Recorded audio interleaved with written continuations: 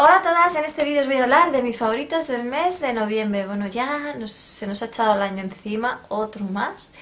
Y dentro de poco también os haré el vídeo de todos mis favoritos de este año 2015. Pero bueno, hoy vamos con noviembre. Eh, os, voy a enseñar sobre todo productos utilizados, más que favoritos realmente. Empiezo por, eh, por ejemplo, pues glosses y labiales. En este caso os voy a enseñar este de Marc Jacobs, que es así como veis, es como tornasolado, luego en el labio no queda así, queda con un fondo un poquito de color, pero es bastante claro y tiene un brillito como medio dorado. Os voy a enseñar cómo queda, porque tal cual queda en el labio, casi prácticamente no da color, pero tampoco lo aclara. Y bueno, me gusta ese efecto como mentolado que tienen. Creo que este formato eh, nuevo es menos el efecto que tienen. De hecho, yo no, lo, siento el fresquito como en el, en el formato anterior, pero el olor es igual y me gustan mucho estos glosses. Me lo suelo aplicar eh, encima del, de, por ejemplo, este del cacao, vamos, del bálsamo labial de Bobbi Brown, que este es muy conocido. Y también me gusta mucho, sabe como anís o algo así, es una cosa. Y es bastante eh, denso en el sentido de que no se quita fácilmente, deja un brillito muy mono. Y bueno, lo único que no estoy de acuerdo con este producto es que lleva petrolatum, pero bueno, por lo demás eh, la verdad es que me gusta bastante, sobre todo para hacer de barrera con respecto a los gloss y que no me resequen. Un labial que he utilizado muchísimo este mes ha sido Patisserie de MAC. Este es. Y os voy a enseñar cómo es. Es un color súper, súper natural. De hecho, estuvo un tiempo agotado hace años porque dicen que era el que utilizaba, creo que Sara Carbonero y entonces todo lo que usa Sara Carbonero, tanto este como el Dragon Girl de NAS, pues se agota. Y bueno, como veis, bueno, es un... Esta es una reposición. Porque otros, el otro se lo cargaron mis hijos, metiéndoles el dedo. O sea, hacían así con los pintalabios y se los cargaban. Y bueno, como veis es un tono rosado muy natural con destellitos dorados. Que eso es lo que menos me gusta a mí de este labial, los destellitos dorados. Porque cuando se va perdiendo ya el labial se queda esa purpurinita dorada. Pero bueno, es un color muy natural que me gusta llevar como Hue, que también me gusta mucho. Entonces es como un básico que llevo en el bolso Hue o este. Em, otro labial que he estado utilizando es este de Kat Von D, que se llama Dabnet. Es un color terriblemente oscuro. Y digo terrible porque queda parches. Eh, la, la aplicación de este labial es complicada. Aquí vais a ver que queda más claro de lo que queda, porque luego es bastante intenso es un color, ¿lo veis? Es un color vino morado oscuro. Y el problema que tiene es eso, que queda a ronchones. Hay que aplicarse primero un bálsamo labial o algo para que quede un color más uniforme, porque es muy complicado de aplicar. Sigo otro labial que este sí que me fascina, es este aquí, es de NARS, de los Audacios, y se llama Charlotte. Ya os lo mostré que me, los había, lo había cogido en los secretos de belleza. Es el que llevo hoy puesto, es este. Y aquí parece más oscuro de lo que es, ¿veis? Es este de aquí, que es un fucsia con un tono un punto marrón, pero si le veis al natural es más fucsia de lo que se ve, aquí se ve más apagado. De hecho aquí se ve con esta luz como se ve en la barra, pero no, luego queda más fucsia y levanta muchísimo el color del rostro, vamos, que da vida. Me encanta la textura, me encanta la durabilidad en el labio, me encanta la pigmentación, me encanta que no se nada, en fin, que son eh, mis labiales favoritos, los Audacious de NARS.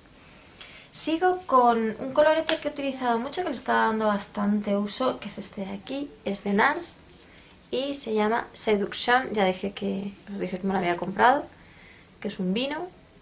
También os dije que me gustaba más el Dolce Vita, sigo opinando lo mismo, pero bueno, este le estoy dando también bastante uso, me gusta mucho. Como veis tiene unos destellitos. Eh, bueno, es muy bueno. Sigo. Eh, quiero enseñaros una base de maquillaje que bueno, como tengo tantas, pues bueno, las voy dando uso. Y esta eh, me gusta mucho el acabado que tiene. Tiende a quedar mate, más que jugosa. Es la que llevo yo hoy, pero bueno, hace tantísimas horas que me la he echado y aparte llevo una, una BB Cream de Skin 79 que deja brillito. Para eso, para que no me quede tan mate, pero queda muy bonita también así con efecto mate. Se puede aplicar con lo que es esta esponjita, que a mí no me gusta tanto. Yo la aplico con la F80 de, de Sigma y me va fantástica. Ahí lo tenéis, la verdad es que es un formato de esponja un poco raro, es una base líquida, pero está ahí. Es, es como cuando lo que llevan los sellos, pues, o lo de, sí, lo de mm, pegar los sellos que estaba como humedecido, pues el formato es ese. Ahí lo veis. Y bueno, pues la estoy dando un montón de uso, la verdad es que me gusta, cubre poco, pero, pero el efecto que deja en la piel es bastante bonito. Además, ella os digo, en cuanto se asienta, queda muy chula. Y nada, bueno, pues que le estoy dando uso a esta base. Es de Lancome, por cierto, y se llama Miracle Cushion. Os lo voy a enseñar porque no os he dicho ni el nombre.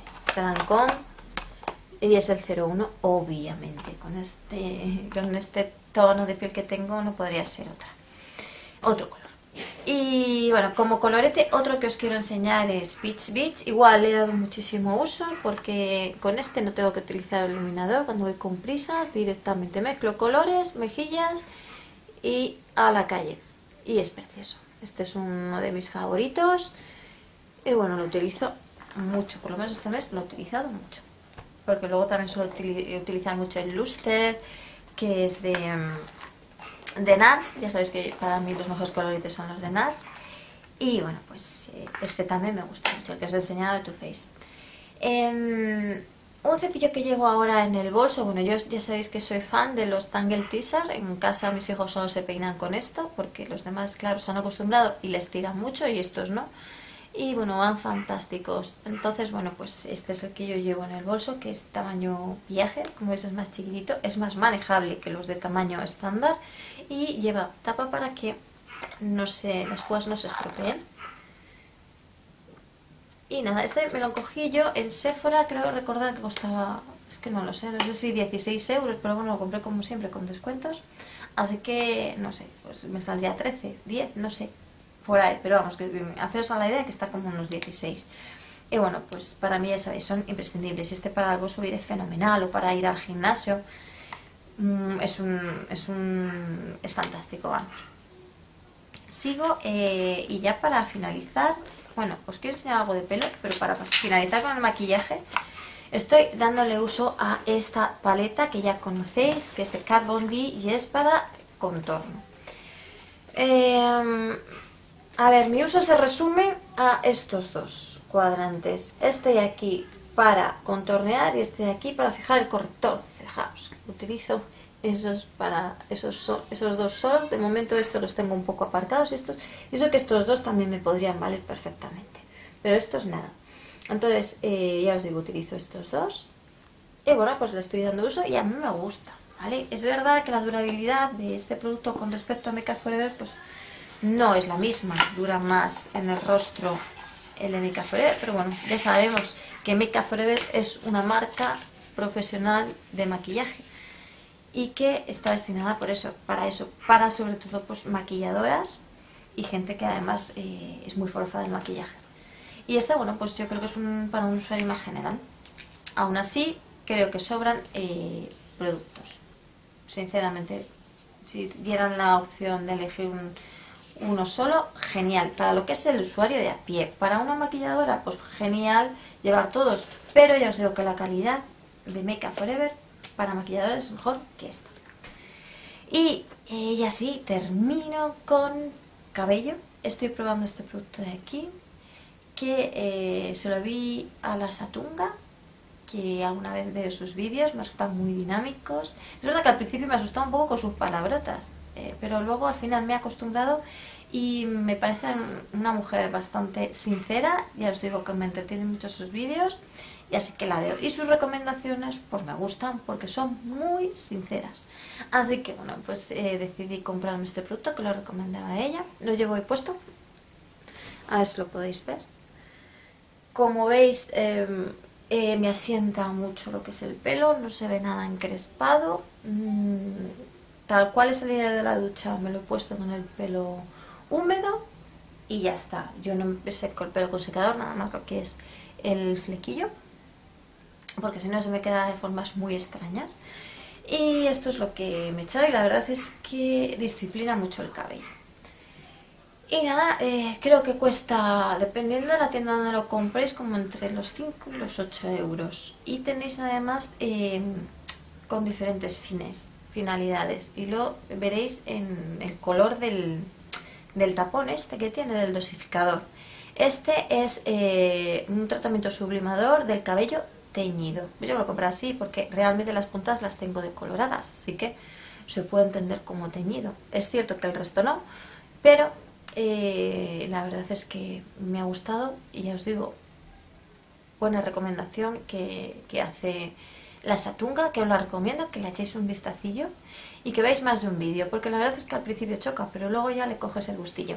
Y nada chicas, os dejo con Laura, que ya le toca a ella. Espero que os guste lo que ella os va a mostrar y que os haya gustado lo que os he enseñado. Nos vemos en el siguiente vídeo. Pues allá voy yo con mis favoritos y quiero empezar por una esponjita para aplicar el maquillaje. Esta la compré en Burlesque, cuesta no sé exactamente, creo que alrededor de 5 euros y la verdad es que me gusta un montón. Ahora mismo está recién lavadita porque la he utilizado para aplicarme el maquillaje, pero em, me gusta mucho, uno, porque es bastante planita de aquí, entonces mm, como que tiene más superficie a la hora de trabajar y dos, porque eh, es muy dura, es como eh, muy densa y entonces no penetra el producto prácticamente dentro, es muy fácil de, limpiar y claro, mucho del producto que aplicas en el rostro lo aprovechas para, para maquillarte. Así que, primer favorito de este mes. Segundo favorito. El segundo favorito es un combo. y el combo está eh, compuesto por el eh, Aqualip de Makeup Forever. Este es en el tono 8C. Tengo por aquí preparado el swatch, pero lo voy a repasar.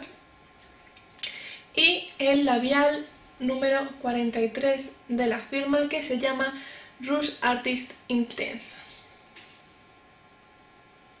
Pues esta combinación de los labios es un rojo mm, precioso, ¿vale? Y, y aguanta lo que queráis.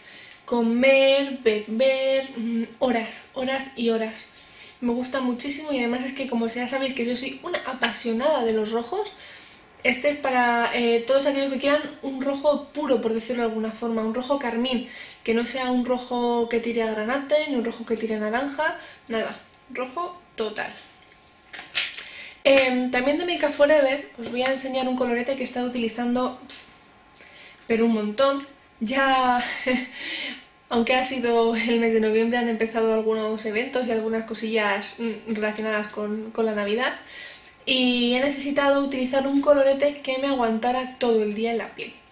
Eh, este es uno de los que más me aguanta, sin ninguna duda, es, el, es uno de los HD de Make Up Forever y en concreto es en el tono 225. Es un tono mm, asalmonado, pero eh, que tiende más al naranja que al rosa es en formato crema y normalmente a mí los de formato crema no me van muy bien, me absorbe bastante la piel y me los tengo que aplicar un par de veces porque si no no tengo nada en la cara. Pero la verdad es que este con una sola vez mm, me lo tengo durante todo el día como he dicho antes. Yo lo suelo aplicar con una mufeta, como veis esta está de haberlo utilizado, esta es de, Mercadona y nada, simplemente un poquito y, y a maquillar. Súper recomendable, es caro porque ya sabéis que Make Forever no es una firma que se caracterice por ser muy económica, pero la verdad es que merece mucho la pena. No toda la colección a lo mejor, pero uno o dos para ocasiones especiales sí. Em, esto es al contrario, es súper barato. Tan barato, tan barato, tan barato que 12 cuestan 1,50 en primar. Em, ya sabéis que yo soy súper fan de las Invisible, las utilizo desde que las descubrí, eh, no he utilizado otra goma y, tengo varias, tengo en dos, tres colores y, es que son mis gomas de cabecera. Eh, las vi en Primark y pensé, pues por 1,50 voy a probarlas, son 12, mm, yo me quedo con las que me gusten porque es que vienen en paquetes de, de eso, las 12 y tiene cuatro colores cada una. Y pues había dos opciones, una que era con marrones y tal, y es que a mí el marrón no me gusta nada, y otra que era con gomas de colores, pero venían tres de este morada, tres fucsias, tres rosas y tres transparentes. Así que bueno, dije pues unas para mí y otras para regalar, y de hecho ya he repartido bastantes, y, y las que voy a repartir también. Y bueno, eh, la verdad es que es una aproximación súper buena. Em, todavía no se me ha roto ninguna. Ya sabéis que mm, donde se pegan a veces mm, se rompen si son muy malas y, y te quedas con el pelo suelto directamente. Pero de estas no se me ha roto ninguna. Vuelven súper bien a su forma eh, original y, mm, y aparte, eh, dan, me dan unas tres vueltas al pelo, no sé, me gustan mucho. Y son, es que, súper similares. Es que son... Y esta vez, esta, esta es una Invisible, está usada, por eso está un pelín más grande. Y esta es la de, la de primar. Lo único que sí que he notado la diferencia es que eh, al utilizarlas, la, el, no sé cómo decirlo, el diámetro de, de la circunferencia esta se más de sí en estas que las Invisible, pero luego vuelve muy bien a, a su forma original. Así que nada, os animo a que por ese precio las probéis y si os gustan, pues bueno, unas, otras, de una marca, lo que sea. Y ya, últimos dos productos. Este, eh, de Montibello, el Smart Touch, un tratamiento 12 en 1, que os voy a decir los 12 en 1, que son nutrición, hidratación, reparación, protección del color, suavidad, protección térmica, brillo, volumen y cuerpo, control del encrespado, resistencia a la rotura, sellado de las puntas abiertas y juventud del cabello. Un montón de cosas, ya veis. Em, yo lo utilizo pues, como acondicionador sin aclarado, como lo que es, todos los días después de lavarme el pelo. Em, me gusta bastante. Tiene un, olor muy rico. Em, es que no sé cómo describiros. Es bastante como afrutado, no sé. No sé, huele bien. La verdad es que huele bien. No, no se parece a, al One en el olor. En los resultados, pues bastante. La verdad es que el que estaba utilizando anteriormente em, al final no lo terminé de utilizar porque estaba, tenía el pelo súper estropeado, tenía alcohol, me lo estropeaba todavía más al pasarme la plancha o al pasarme el secador y al final decidí cambiar y tenía, tenía este y es el que estoy utilizando desde entonces y este sí me gusta y si noto que me cuida el pelo, me lo deja suave, no se me encrespa y lo protege del calor cuando, cuando me lo plancho. Así que bueno, otro favorito. Y el último favorito es un gel de aloe vera puro, este le compré en Mercadona, dice que es aloe vera de Canarias, em, de cultivo ecológico, sin conservantes, sin, sin perfumes y además con 0% de agua añadida. Esto es lo que nos cuenta aquí. Me lo compré ya hace tiempo porque eh, cuando me fui a hacer la depilación láser, si os lo habéis hecho lo sabréis, Em, en, en todos los centros de belleza os dicen que hay que echarse una crema 15 días antes, 15 días después de cada uno de los tratamientos para que la piel esté hidratada y se recupere, porque al final lo que te estás haciendo es una quemadura, entonces eh, tienes que ayudar un poquito a tu piel. Em, en lugar de comprarme el que me vendían en, el centro, eh, pregunté en la farmacia y la farmacia directamente me recomendaron utilizar aloe vera, porque la aloe vera tiene un montón de propiedades y me iba a servir igual de bien. Entonces, la primera vez me compré el de la farmacia y luego ya me compré, fui a Mercadona, lo vi y, me compré el anterior que había, que era el bote transparente, y luego ya al final este. Y desde entonces lo tengo y cuando tengo cualquier problema en la piel, en verano si mm, alguna quemadura mía o de cualquier persona de mi familia, aloe vera. Eh, lo que sea, aloe vera. El caso, que este me lo he tenido que utilizar mucho porque mm, me he quemado es poco, lo sé, pero escuece mucho. ¿Qué le vamos a hacer? Es una quemadura que me hice con el horno. Entonces inmediatamente cuando empezó a escozarme, em, empecé a aplicar el aloe vera, soplando además un poquito, se quedaba súper fresquito y era un alivio espectacular. Y he conseguido que no me saliera costra, o sea, uy, perdón, costra no, que no me saliera ampolla y además ya está súper cicatrizado. Ya no tiene prácticamente nada más que mm, una mini costrita así de pequeña Y, bueno, espero que se me vaya pronto la cicatriz porque yo cicatrizo muy mal. Bueno, aquí tengo un ejemplo de lo mal que cicatrizo. Esto que veis se cayó. Creo que mi vecina se acaba de acordar de mí. Lo siento. Lo que sí iba a decir. Desde el 5 de septiembre tengo esa herida y no se me ha curado. Así que tengo que hacer lo posible para que las cicatrices mm, avancen un poquito más. Cicatrizo muy mal, ¿qué le vamos a hacer? Pues nada, después de susto a la vecina, he terminado por hoy. Así que nada, esperamos que os haya gustado mucho los favoritos de Begoña, mis favoritos. Cualquier comentario, como siempre, es bienvenido en el apartadito aquí abajo. Así que nada, nos vemos en el siguiente vídeo. Chao.